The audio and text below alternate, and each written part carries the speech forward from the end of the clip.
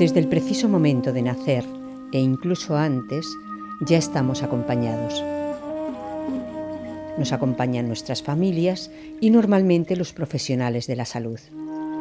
Comienza el apego, tan necesario para sobrevivir, y también el desapego, dando paso a una danza en la que ambos estarán más o menos presentes a lo largo de nuestra vida.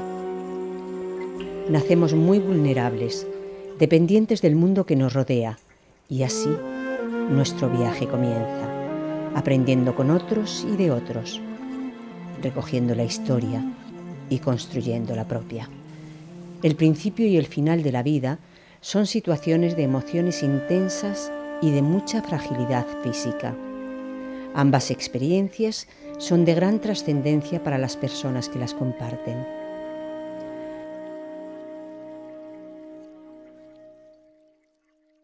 Nuestra sociedad ha cambiado, vivimos más años y el periodo final se alarga.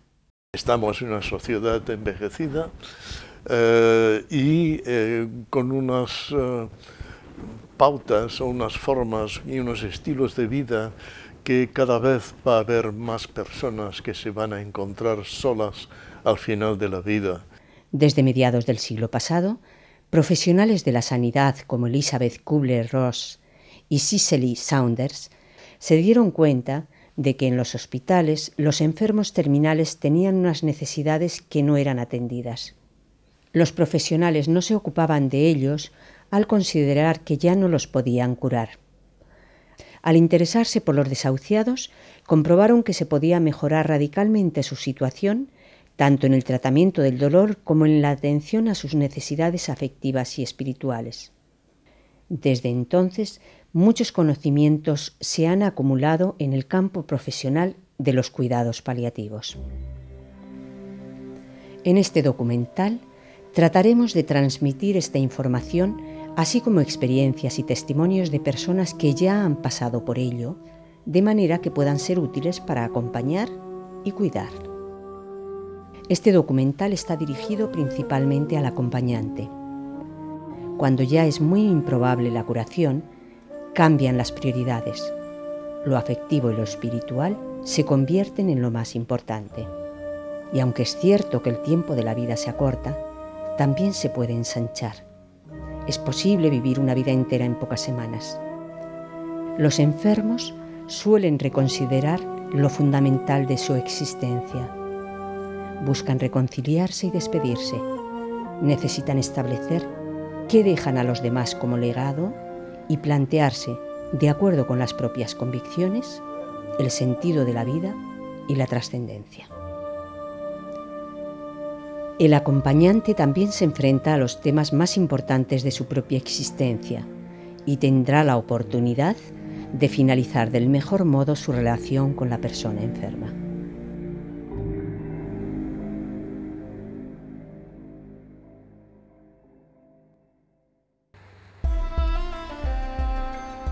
A mi madre a urgencias un 30 de noviembre pensando que, bueno, que iba a tener una infección severa y que después de estabilizármela me la mandarían a casa.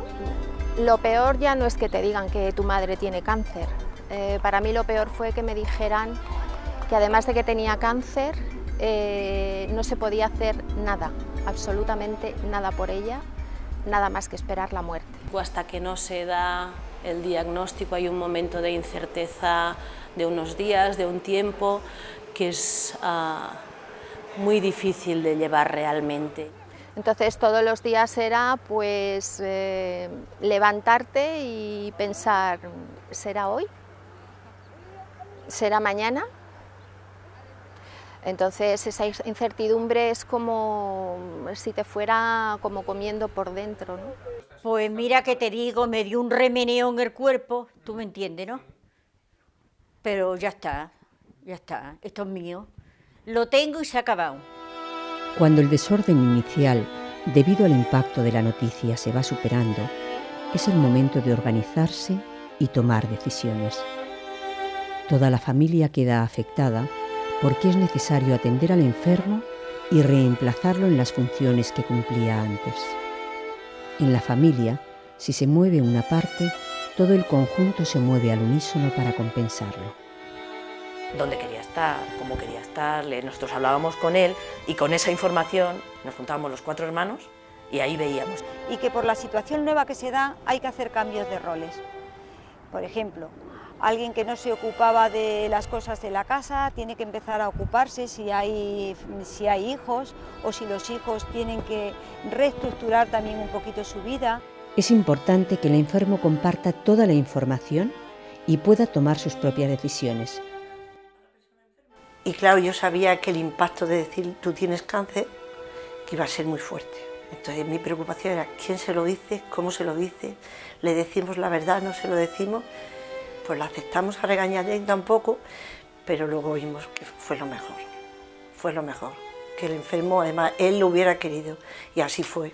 Él quiso en todo momento saber la verdad. Son las decisiones que, que fuimos tomando. Yo me atrevo a decir eh, que la, si no el 100%, el 98% las tomó mi padre. Eh, y yo creo que cada vez más se está incorporando también a los enfermos y a los cuidadores a poder participar en estas decisiones de rechazo a tratamientos y de preferir abordajes paliativos desde otras fases de la enfermedad. Y ya fue cuando dijo, mira, yo ya no quiero más quimio. Si me tienen que dar radio, si me pueden dar radio, sí. Pero yo una segunda vez veo que la quimio a mí no me da resultado, yo no quiero saber nada de la quimio. Y entonces fue cuando la oncóloga dijo, bueno, pues eso lo dejo en sus manos. A través del testamento vital puede dejar constancia de sus decisiones para un momento futuro en el que no pueda expresar sus preferencias. Las instrucciones previas es, un, es lo que la persona quisiera que se hiciera cuando ella no pudiera decidir por sí misma. Eh, yo definiría de una forma sencilla que el testamento vital no es más que prolongar la autonomía y la capacidad de decidir al, enfermo cuando está en un momento en el que él ya no puede decidir. El testamento vital no es cuando uno está que puede decir las cosas, aunque, tú, aunque una persona haya hecho un testamento vital, siempre prevalecerá lo que dice en aquel momento. Una de las decisiones a tomar es si va a vivir la última etapa en el hospital o en casa. Y por supuesto una cosa que nos gratificó muchísimo a la familia, todo, vuelvo a decir, a la familia más cercana, fue respetar el que en todo momento nos dijo que quiso, que quería morir en casa. Y se cumplió su deseo. También podemos pensar, claro, pero eso, eso no es tan fácil, porque a lo mejor se puede poner y tú no puedas controlar esa enfermedad y lo tengas que ingresar. Digo, sí, pero llega un momento que a lo mejor ya dice, pero si ya no podemos hacer nada, ¿por qué va a morir en un hospital? Y luego otra fase, que empieza en verano, cuando ya la oncóloga mm, le dice que ya, ya no puede hacer más, que ya no se le puede dar más medicación, porque ya la enfermedad avanza y ya tiene que pasar a otros médicos de paliativos que le van a acompañar en el, otro, en el siguiente proceso.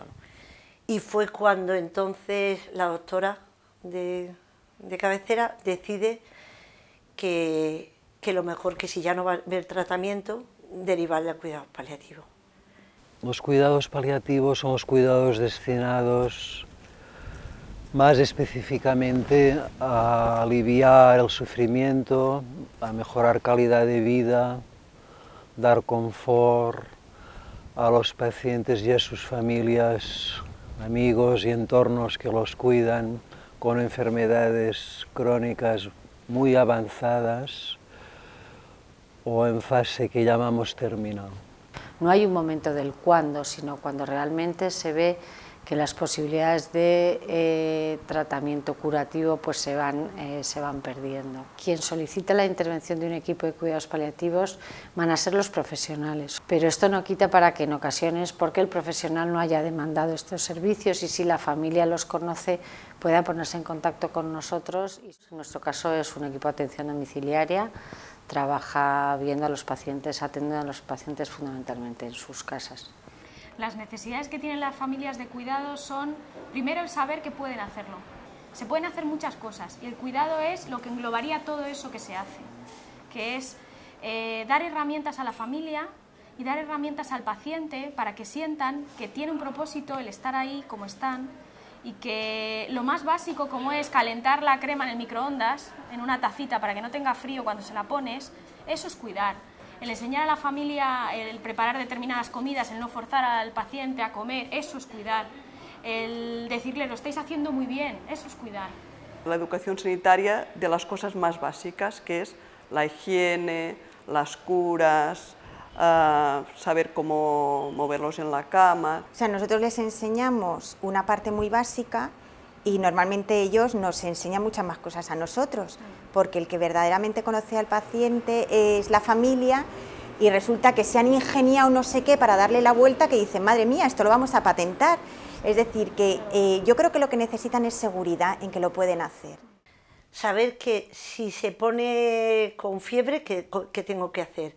Si, si se pone, si hay que llevarlo a algún sitio, ¿dónde tengo que llamar? Toda esa información ellos me, daban, eso me, daba mucha seguridad. En ayudar a controlar el dolor a, los, a sus familiares, ellos tienen un, doble papel. Uno es eh, el meramente técnico de administrar los analgésicos a las dosis y con la pauta que le han dicho los profesionales que le atienden, y eso habitualmente la gente lo hace bien, pero también hay otros, eh, otras medidas no farmacológicas que ayudan a que los pacientes puedan eh, tener un buen control del dolor. Por ejemplo, el que el paciente esté descansado, se sienta acompañado, pueda comunicarse con sus familiares. La práctica de los cuidados paliativos ha avanzado mucho y ayuda a los enfermos a vivir la etapa final sin dolor y a la vez de forma lúcida. Que ya que hay un cáncer, una enfermedad terminal, cualquiera, que no, se, no tiene por qué sufrir dolores el enfermo, que, que, hay suficientes medios para que el enfermo no sufra. Y la verdad es que nos pareció básico el, el aporte de, del tema de paliativos en ese momento, en cómo estaba, porque él empezaba ahí a enfrentarse con todo el tema de morir asfixiado. El analgésico tipo en, en, en la fase, en, en, pacientes de, al final de la vida es la morfina, ¿no? y con la morfina pues hay toda una leyenda negra, la morfina eh, te deja dormido, la morfina te deja, eh, te anula la lucidez, la morfina te hace toxicómano, la morfina te...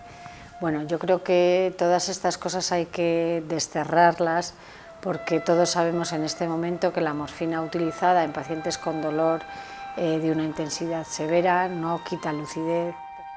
La sedación paliativa solo se aplica como último recurso ante dolores intratables. La sedación paliativa es administrar fármacos sedantes suficientes con la intención de reducir el nivel de conciencia del paciente lo suficiente para asegurar confort y un control del sufrimiento, del dolor, del ahogo, de la agitación. Para eh, tratar síntomas eh, que no podemos controlar de otra forma, que nosotros llamamos síntomas refractarios, y poder garantizar pues, que la gente pueda morir sin dolor, pueda morir eh, sin agitación o pueda morir sin dificultad respiratoria, que es algo que a la gente le aterra. ¿no? Eh, es muy importante también saber que la sedación terminal no es la eutanasia, que la sedación terminal no es eh, colaborar en el suicidio asistido, que la sedación terminal es una herramienta terapéutica, como estamos diciendo, que es un, eh, es, una, es un proceso totalmente legal. Estas dos circunstancias son las más frecuentes para indicar una sedación paliativa. Normalmente estamos cerca del final de vida, y uh, nosotros pues hemos agotado también otras maneras que no implican una reducción del nivel de conciencia del paciente. Aparte del dolor físico, se puede sufrir por diferentes motivos, emocionales, de origen social. Por tanto, el cuidado no se agota en paliar el dolor físico. Al dolor total corresponde una medicina total que abarque todas las necesidades. Yo entiendo los cuidados paliativos como un derecho fundamental de la persona. Probablemente si revisamos la Declaración Universal de los Derechos Humanos, están allí pues, todas estas necesidades de atención en final de vida para preservar la dignidad y el sentido de la vida. El enfermo y su familia se embarcan en un proceso de mucha inestabilidad e intensidad emotivas. Bueno, a veces parece una montaña rusa todo eso, porque son momentos muy importantes y a la vez muy difíciles. Uno tiene rabia, uno tiene culpa, uno mm, piensa que tampoco es para tanto, que se va a recuperar, se, se mantiene la esperanza y luego a lo mejor al cabo de 10 minutos la esperanza se rompe y volvemos a, a estar rabiosos. Se pueden distinguir ciertas etapas o pasos que son bastante comunes, aunque cada uno lo viva a su manera, pudiendo variar el orden, la duración de cada paso o la existencia de algunos. La situación de, cuidar a un enfermo con enfermedad avanzada es para el familiar, para el cuidador, una situación de, de desgaste físico y emocional. Al recibir la noticia, a menudo se comienza por negarlo, diciendo, por ejemplo, debe tratarse de algún error. Es importante buscar la manera de comunicarlo al enfermo con franqueza, pero con tacto. Él, desde que empieza en verano, ¿vale? todo el proceso son dos meses, él empieza primero, no acepta, claro, en el primer momento no. Es como que la, la doctora le dice que, es, que ya, y él no. Podemos comprender que es una noticia difícil de asumir y la negación cumple la función de amortiguador, que permite distanciarse hasta que psicológicamente se encuentra preparado para aceptar la nueva situación. El enfermo tiene derecho a la información, pero también tiene derecho a no saber o a ir sabiendo según su ritmo personal. El derecho a saber no conlleva la obligación de saber. Otro tipo de negación es la que se produce en el entorno del paciente al simular que no se va a producir la muerte. Es lo que se llama la conspiración del silencio.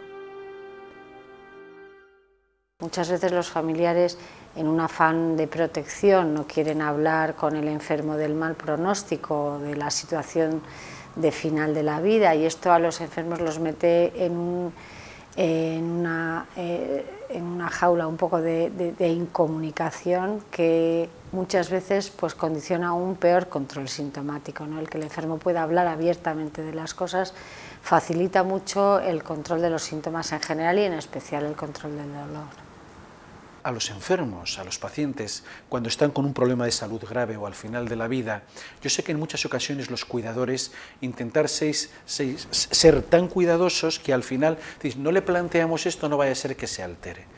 Yo sé que os diría que con toda libertad, que sobre todo estéis atentos a los gestos, a los signos que ellos envían, y a partir de ahí sería ir devolviéndoles en forma de preguntas y sintiéndose escuchados la relevancia, la centralidad que tiene todo eso. Aceptar la enfermedad y la muerte no es lo mismo que resignarse. La resignación es pasiva y paraliza frente al sufrimiento. Pero la aceptación del hecho de que la muerte es ineludible abre el camino para cambiar las cosas. Les digo a todos los que estén así en mis circunstancias que, que se lo tomen de esa forma, que, que no pasa nada, que, y además, aunque uno quiera pensar otra cosa, no va a haber otra cosa, es lo que hay a ver lo que hay. Así que no, no merece la pena estar dándole vueltas. En un principio, el enfermo puede reaccionar con enfado. Es muy frecuente que surja la pregunta, ¿por qué a mí? Entonces en ese primer momento él no acepta y entonces pasa unos días de no aceptación, de rabia después, empieza a ponerse muy enfadado.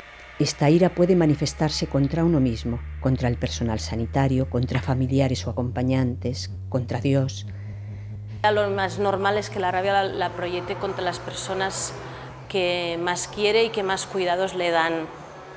Impaciencia, frustración, irritabilidad, y esto lo está soportando día a día el, el familiar.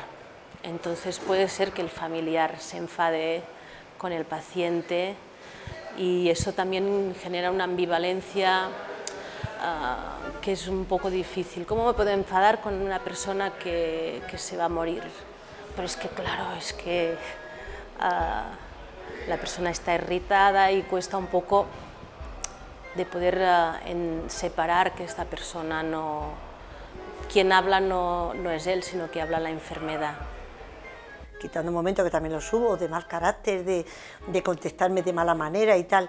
pero yo lo entendía, es que ya bastante tenía, era una lucha contra eso que él tenía. Entonces yo no, lo sentía como que iba contra mí en ningún momento. Era una forma de, de desfogarse, de desahogarse, de decir, pero ¿por qué me ha tocado? ¿Por qué estoy aquí encerrado? ¿Por qué estoy sufriendo esto? Sino que simplemente es eso, una descarga, una forma de, soltar toda la angustia que el paciente lleva. Eh, no hay que revisar los cuidados, no hay que sentirse mal por pensar que uno no lo está, no lo está haciendo bien. Pero él sí que era consciente y reculaba y decía, me pedía perdón constantemente, es que no quiero, es que, es, es que a veces estoy nervioso, es que me cuesta aceptarlo, es que me voy a morir y no quiero, es que me voy a morir y no quiero. Entonces, mm, pues es que yo lo hubiera querido para mí y, entonces lo que yo hubiera querido para mí es lo que intenté darle a él. Y también pueden salir emociones o sentimientos que uno a veces se puede sentir culpable, ¿no? Cuando ves la persona que está sufriendo mucho, uno puede desear que se muera para que no sufra y esto luego se puede vivir un poco mal, cuando en realidad es muy lícito querer que la persona no sufra, pero son un tipo de sentimientos que socialmente quizá no están muy aceptados y pues te generan ah, algo de culpa, uno de los sentimientos más inapropiados o menos prácticos, por decirlo de alguna forma, es el sentimiento, el sentimiento de culpa. Y solamente daremos, eh, prestaremos cuidados de calidad si nosotros mismos estamos, estamos bien. Negociación. Se produce un diálogo interno, como tratando de negociar su situación. Suele estar relacionada con asuntos pendientes y despedidas. Pero una vez pasado la boda, pues como que dijo, yo ya he cumplido y ya lo que me venga, incluso a mí me lo expresó, ya lo que me venga ya no me importa. Si me tengo que morir, me muero, si, si este es mi final, pues ya no me importa. Yo ya he cumplido con mi hija, con vosotros, con... no he querido fastidiar este día tan bonito a mi hija y ya lo que me venga al aceptar que la situación es ineludible, se pasa por una especie de depresión que muchas veces no se puede evitar. Si se permite expresar el dolor, eso ayuda a la aceptación final. En este sentido, no sirven para nada las actitudes positivas forzadas o fingir para dar ánimos. Muchas veces se necesitan pocas palabras, pero lo que siempre puede ayudar es estar ahí, disponible.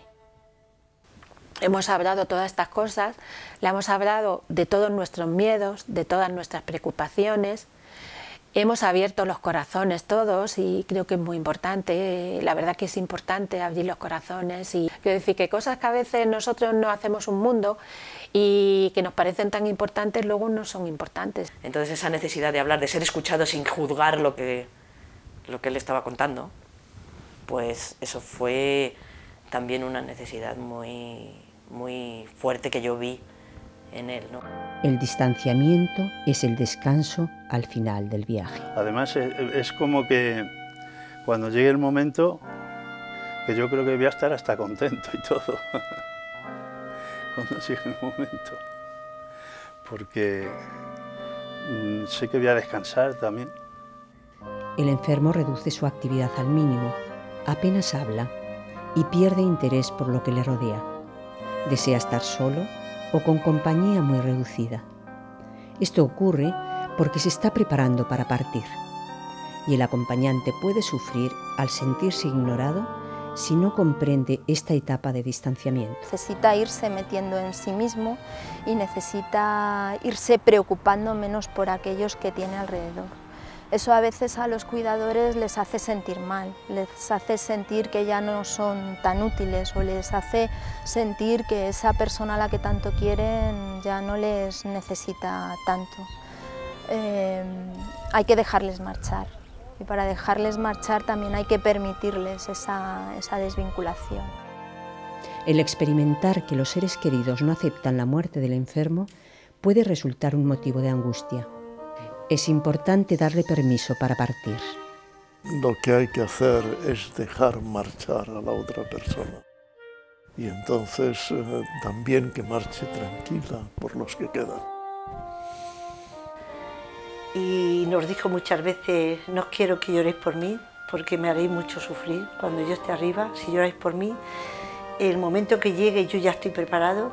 Y bueno, como quieres a esa persona y lo quieres tanto, pues eh, llegas a, decirle que vale, que se vaya, que descanse, que ahí estamos con él y que no vamos, que le vamos a querer siempre.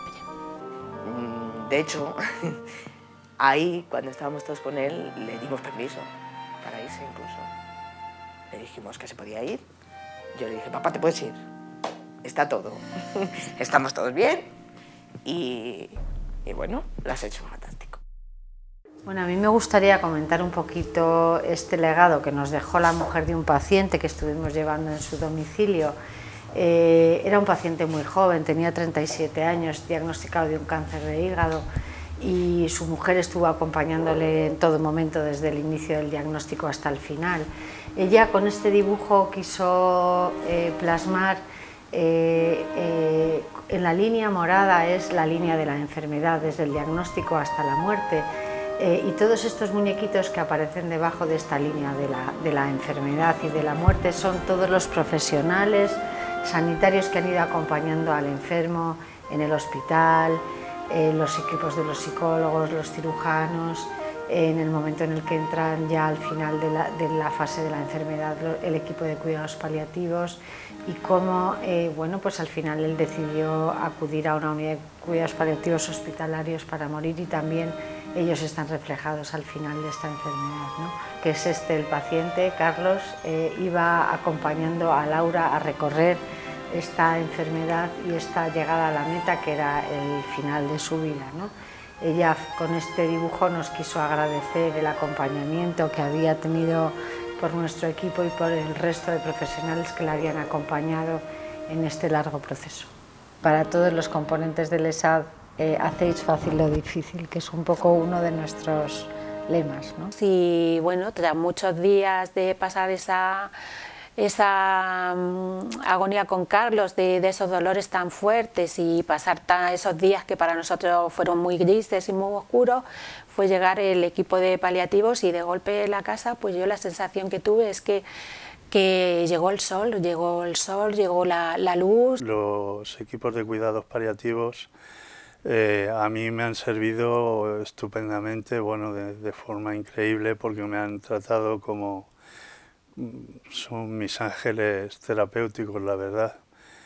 Es que eh, cada vez que llegaba el día, era un día alegre para nosotros, cada vez que nos decían, es más, cuando hubo un tiempo eh, largo de 15 días que no iban a me decía, que no venís en 15 días, no puede ser, os necesitamos semanalmente, pero si es que nos dais una inyección de vida, una, inyección de, de esperanza. Tiene relación con sentir que compartes sangre y piel con otros seres que te abrigan cuando hace frío, que recogen tus lágrimas en un tarrito para convertirlo en pócima sanadora. Así que gracias por iluminarnos con un rayo de esperanza, por hacernos notar que un brazo amigo se posa en nuestros hombros para acompañarnos en el camino, el buen camino de un mundo diferente y mejor. Pues muchísimas gracias. Hombre, ahora me ayudan con cariño. Ya ves tú. Ya ves tú si me quieren. Que no me falta encima la mesa.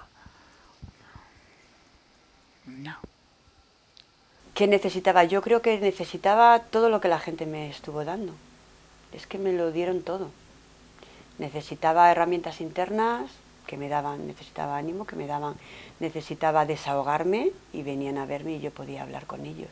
Y desahogarme, a veces lloraba, a veces reía, a veces mmm, compartía experiencias bonitas. Están viviendo una situación igual que la tuya con otro familiar eh, que tienen en la misma situación que la tuya. ¿no?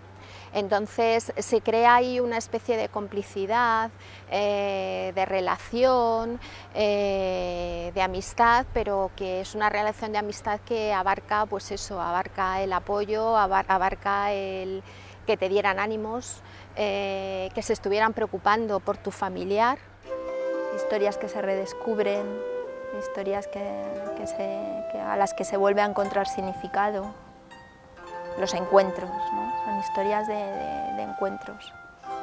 Cuando la vida se pone difícil, uno vuelve a encontrarse con la, verdad de los que tiene, de los que tiene alrededor. Y, digo, ¿y por qué nos volvimos a reencontrar? Porque hubo muchos momentos de estar juntos, de hablar, de hablar nosotros solos, de, decirnos cosas que a lo mejor no nos habíamos dicho. Cuando una cuidadora o un cuidador eh, le dice a la persona enferma, ¿no? te hubiera vuelto a elegir, aun sabiendo todo lo que íbamos a pasar juntos, y aun sabiéndolo te, volvería a elegir otra vez para vivir esta parte de, mi vida contigo. Me sintió muy cerca, me sintió ahí, me sintió mi cariño, sintió, lo sentía, me decía, yo no sabía que me querías tanto. Que tanto viene mi hijo, mi nuera, y, estuve en la cama, ¿eh? estuve en la cama. Y llega que a lo mejor no sabe si estoy durmiendo o estoy despierto, y se abraza a mí y me da un beso. Me da un beso.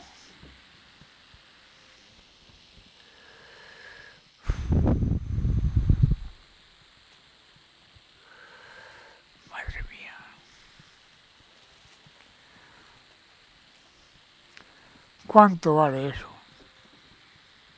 Cada persona es distinta y entonces es una adaptación también a un conocimiento de las necesidades de aquella persona, pero siempre se puede preguntar, ¿hay algo que creas que te pueda ayudar? Acompañar simplemente estando allí, disponible. Puede haber un cambio y a veces lo único que se necesita es, que la otra persona eh, sepa que estás ahí.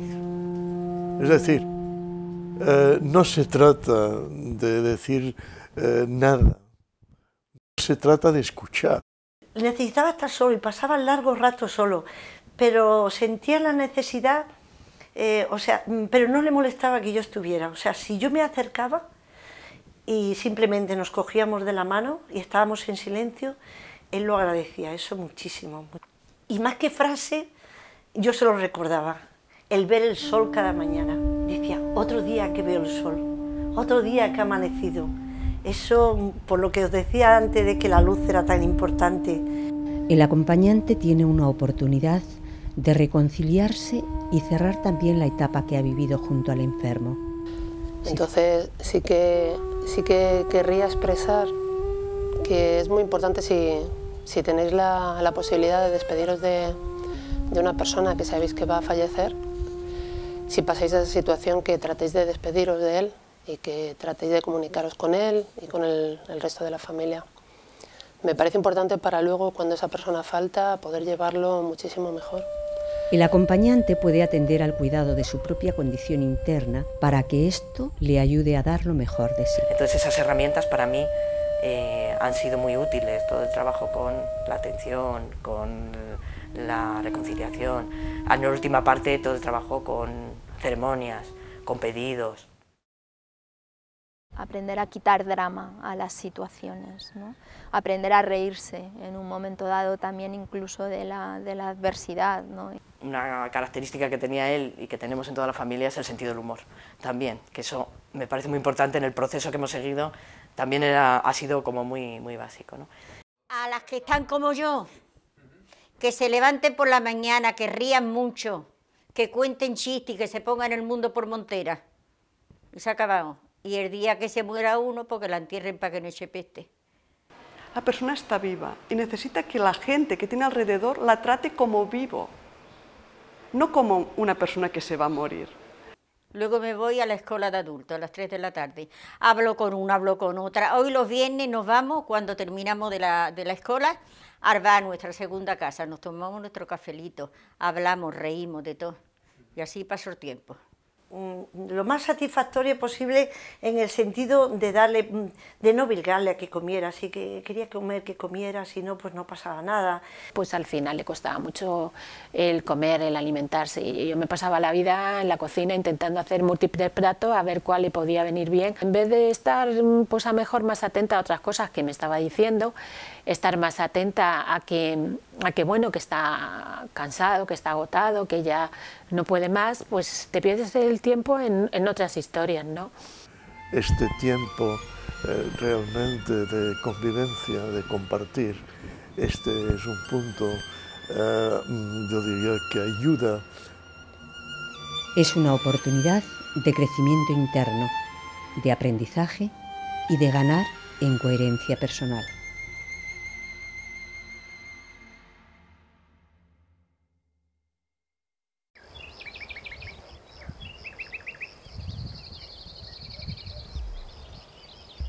Enfermedad nos para, de repente empiezan a surgir muchas preguntas. Preguntas que tienen que ver con algo tan sencillo de por qué me ocurre a mí esto, de si era el momento adecuado, porque parece ser que era una edad que a lo mejor no tocaba el estar parado por la enfermedad o el estar próximo a la muerte.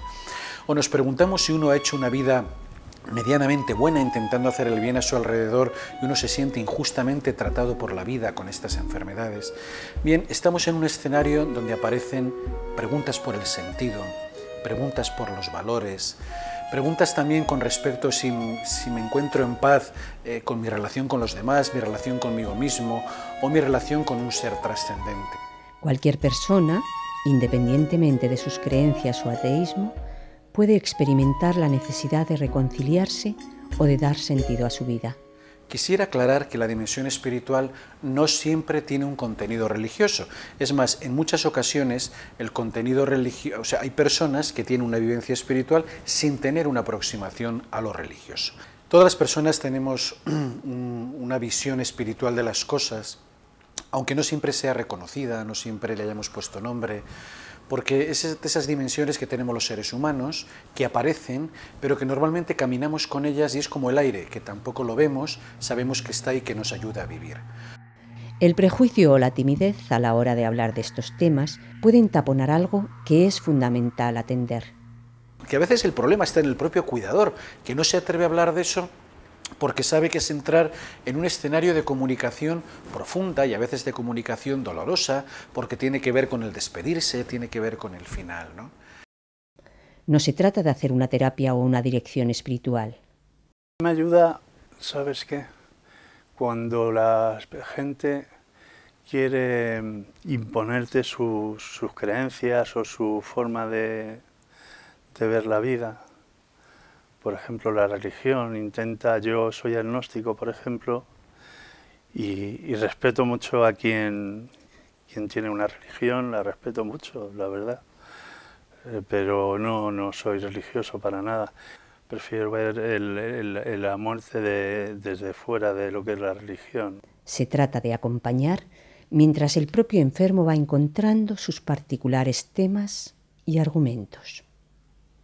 Y entonces ahí le entró el sol y él cerró los ojos y, dijo, hoy estoy en la playa del cielo, al solito. Eso va a ayudar sobre todo a no taponar. Esto nos pasa en lo emocional y nos pasa también en lo espiritual. Es decir, la importancia en el acompañamiento de que la persona pueda poner palabras a todo lo que está viviendo.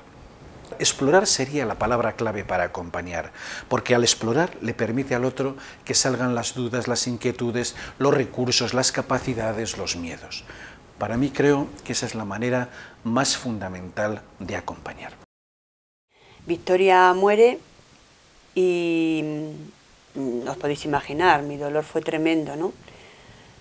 Emocionalmente estaba destrozada porque no paraba de llorar, pero pasó algo impresionante y es eso, esa experiencia, ese registro que comentaba anteriormente que la gente me arropaba, que yo, yo sentía que estaba arropada, protegida, lo sentí igual pero desde dentro. Había algo que me estaba acompañando, no sé, la vida. Era una sensación de sentido, de, de que la vida estaba conmigo y que la vida seguía con nosotros y la vida me estaba apoyando en ese momento más que, más que ninguno de los demás momentos de mi vida y de todo el proceso este. Muchas personas creen que no pueden ayudar al ser querido porque no saben qué hacer, qué decir, porque se ponen de manifiesto sus temores y piensan que no tienen nada que aportar. Pero el solo hecho de escuchar y acompañar ya es de gran ayuda. Cuando las personas se sienten y nos sentimos escuchadas, acogidas, en esos procesos como si se libera el espíritu, como si se libera el alma. Y eso es una auténtica maravilla, eso es un regalo. Por otro lado, no se trata únicamente de que el acompañante ayude.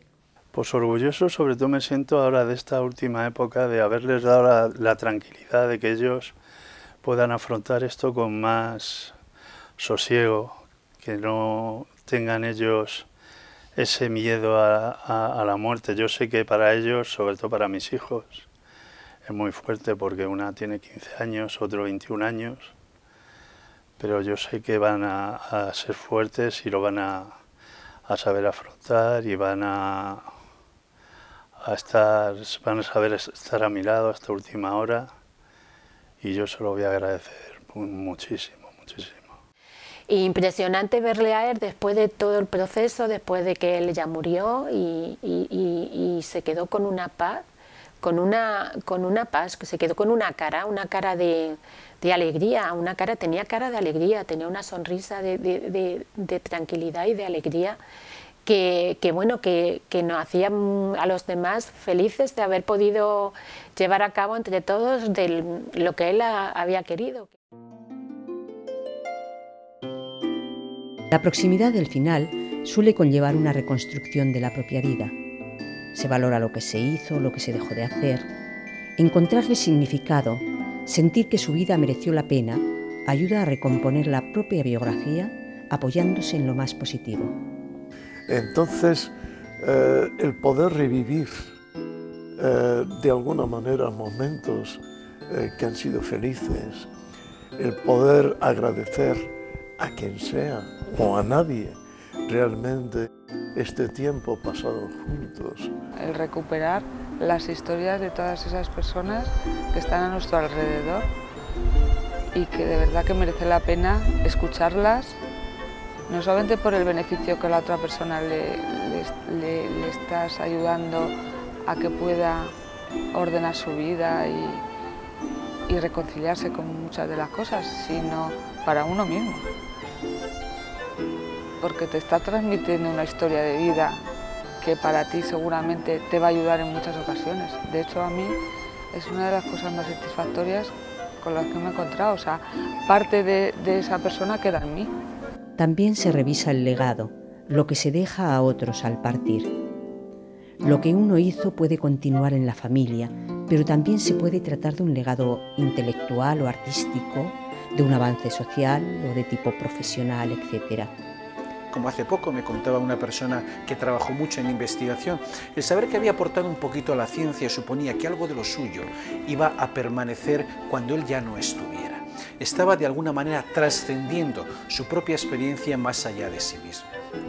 Esta es una dimensión también clave, que los cuidadores les podáis decir a la persona que está enferma, oye, que cuando tú no estés vas a seguir estando de otra manera, que para nosotros tú has sido un tesoro, tú has sido un regalo, un recurso es elaborar un material, un álbum, un testamento escrito, una grabación de vídeo o de voz, es decir, un objeto físico donde apoyar los recuerdos.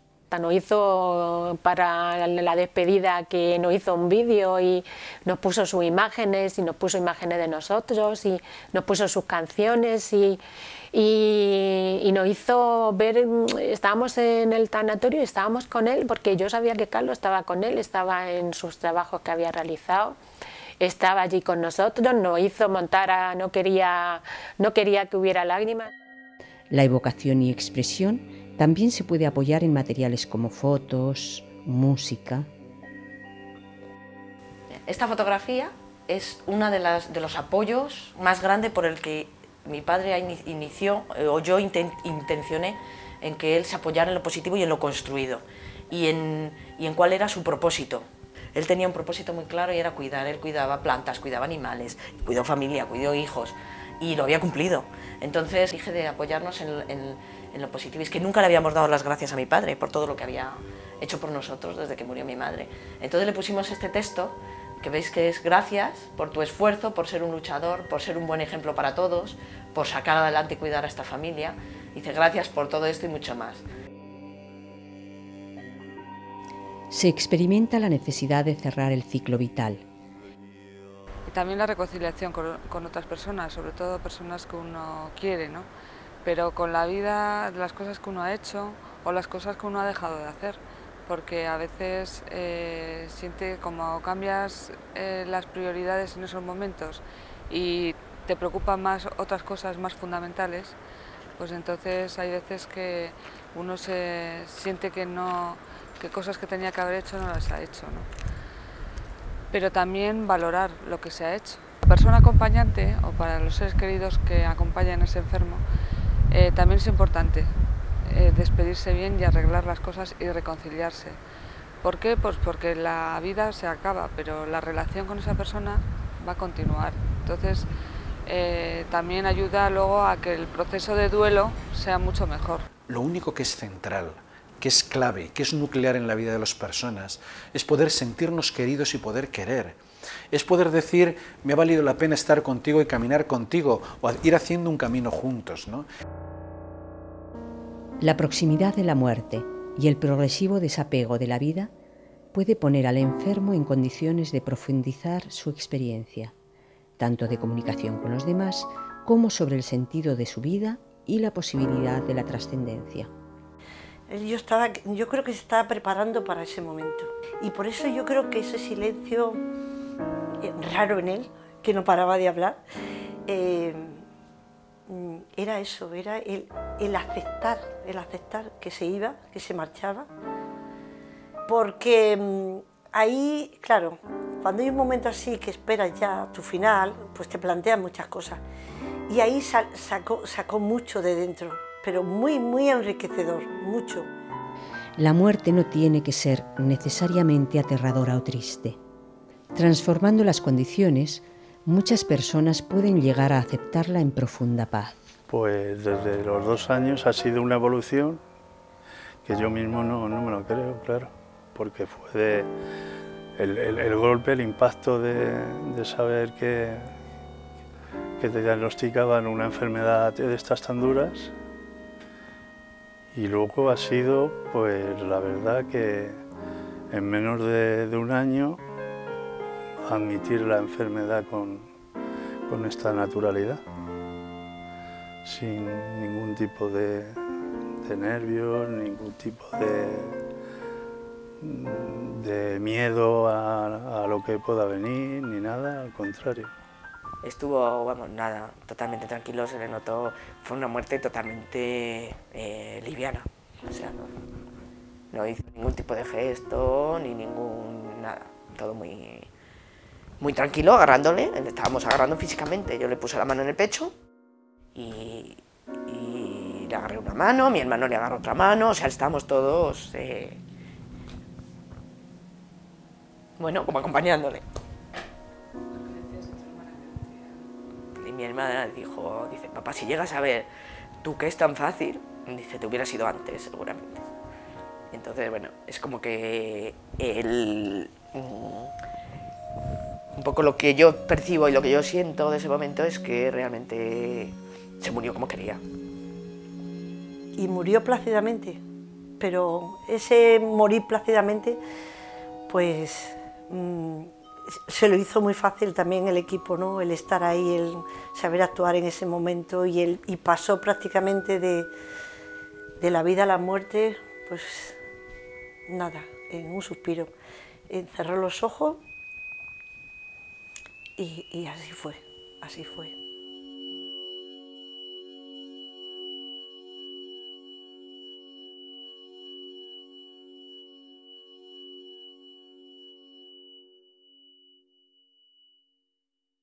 Como la acompañar al final de la vida no lo identificó solo como los dos últimos meses, en este caso tres, sino todos esos dos años en ese momento. ¿no?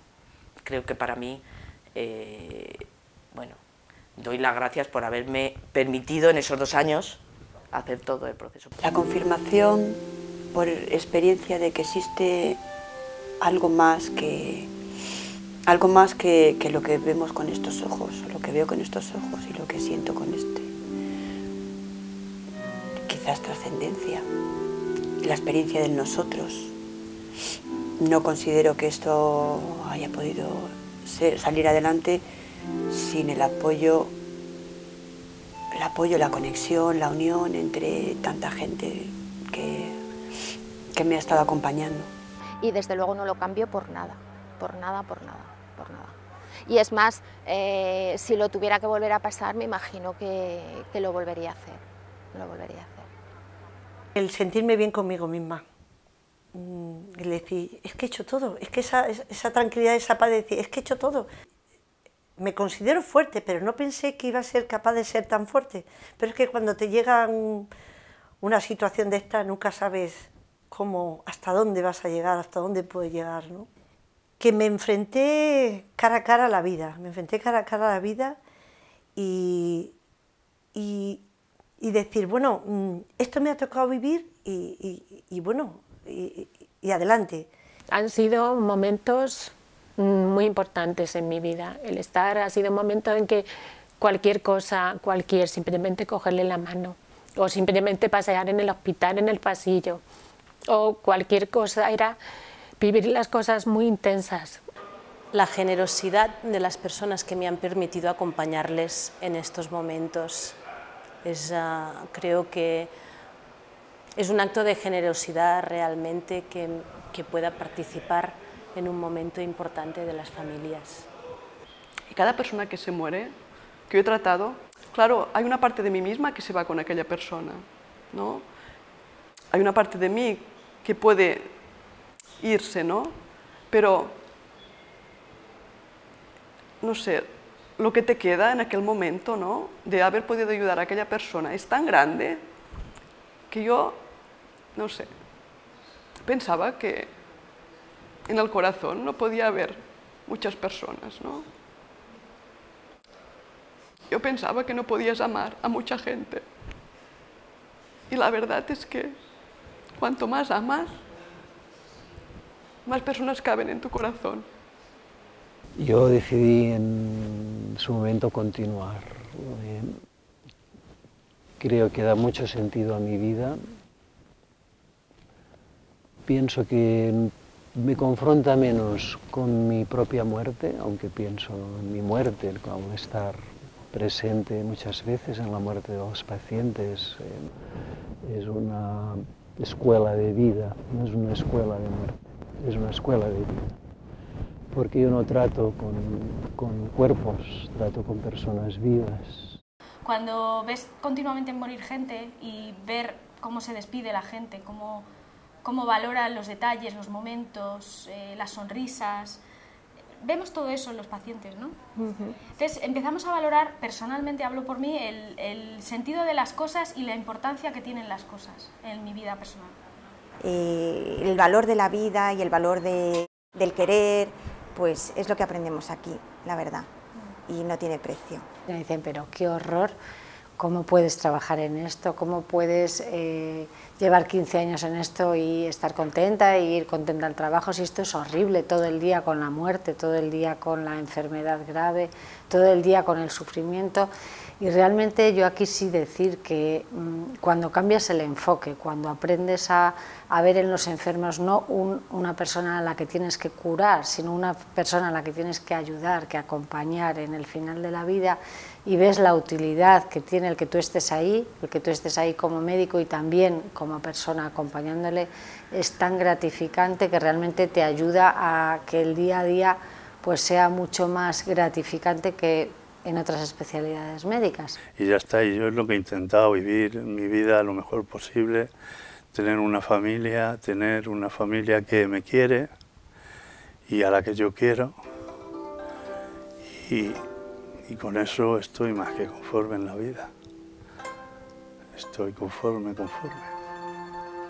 Así que yo a todos los que estéis en mis circunstancias os doy un abrazo desde aquí, y espero recibir el vuestro también. Que sobre todo me llevo las sonrisas, en, medio de, en medio de la tristeza, en medio de la pena y en medio del, del dolor emocional, ese punto en el que, aparece la conexión y aparece la, la sonrisa. la sonrisa serena de, los pacientes en muchos momentos, aunque parezca mentira. Declaraciones de amor más bonitas las he visto yo en, parejas que se están despidiendo, parejas que, que se están cuidando en la última fase de enfermedad.